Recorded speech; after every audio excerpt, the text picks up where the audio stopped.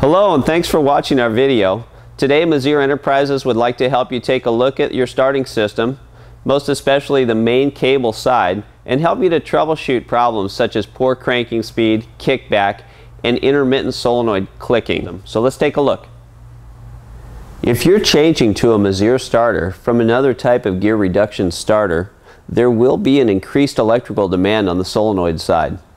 Our starters can demand up to 40 amps to activate and rarely are start switches and neutral safety switches rated this high. If this is an issue for you, please see our video for our start relay, the WIK 400. To begin the test, you'll want your batteries fully charged. Set your voltmeter on 0 to 20 volts. The battery should check between 12.5 and 13.2 fully charged. And now we're going to crank to get a baseline while it's under load. Next, we'll perform the same test, except with the leads connected at the starter. So what we saw was 11.1 volts under load at the battery and under 9 volts at the starter. That's over 2 volts lost through the system. A good car is going to be about 1 volt lost through the system.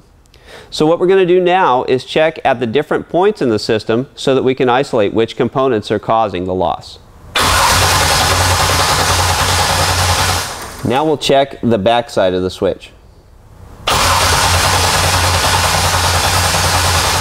So after checking at the master cutoff switch, we now know that we have a small loss through the primary wire, a small loss through the master cutoff switch, but over 1 volt loss through the main cable running from the front to the back of the car. These, it's quite common for these cars to be set up with cable that's too small for the job. We recommend 1 aught cable, fine stranded, high quality wire. So what we're going to do now is we're going to change that cable out and see how the voltage check improves.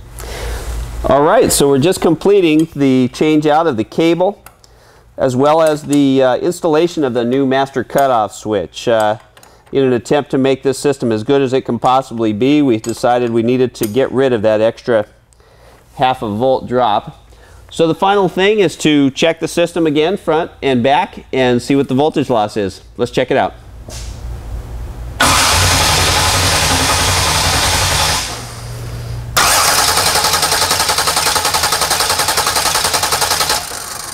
So with the changes we've made, we've got a pretty good result. We've got about 1 volt loss in this car. The spin is much faster and under hot cranking conditions it's going to be much more reliable. Thanks for watching our video and please contact us if you have any questions about these products or any others.